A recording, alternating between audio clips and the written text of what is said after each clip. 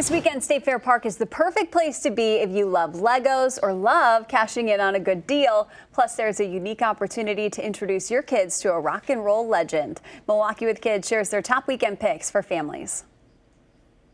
Hi, Callie, your blog Milwaukee with Kids, breaking down the best events happening around town this weekend for families. One of those is the Brick World Lego exhibition at State Fair Park. This is huge for the Lego lovers. Yeah, how fun does this sound? Um, so you can go to the State Fair Expo Center and they'll have 50,000 square feet of really cool Lego creations by local people, actually. Um, and they also have play areas for building and playing and all of that. Um, you can actually save if you buy your tickets online, so versus in person. So if you know you want to go, it's a good idea to buy your tickets beforehand.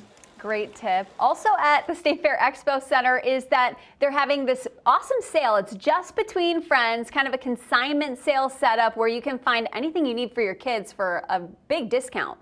Oh my gosh, and you know how expensive it can be to outfit these kids and the toys and the all of the things. And so this Just Between Friends resale event, um, also at the Expo Center this weekend, just endless amounts of all of the stuff you need for your kids and it's all resale. They're also going to have um, spider-man and queen elsa will be there on saturday from noon to 2 just as a fun um, feature and it's free to go. So really a, a great event that's super exciting. And the kids grow out of things so quickly, it's definitely not always worth it to buy full price. So this is a great alternative.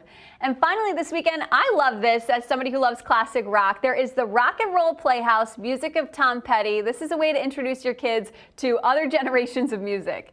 Yeah, it's really cool. They had one a couple of months ago. It's actually a family concert series. Um, I think last time it was the Beatles. This time it's Tom Petty. And you go to the Turner Hall Ballroom, and it's meant for families, kids ages 10 and under. The band plays these classic songs. They do movement, games, stories, and it's just a way to introduce your kids in a really family friendly way to this great music. I love that. Making the younger generations love what everybody else loved before them.